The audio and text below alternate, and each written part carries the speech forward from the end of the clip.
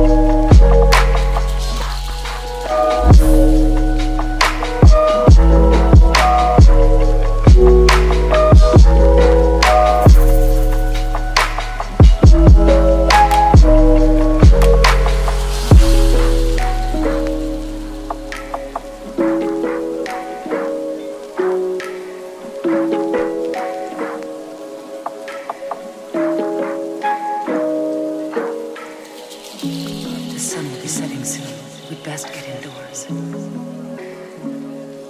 But wait a minute, do these Mushi have a name?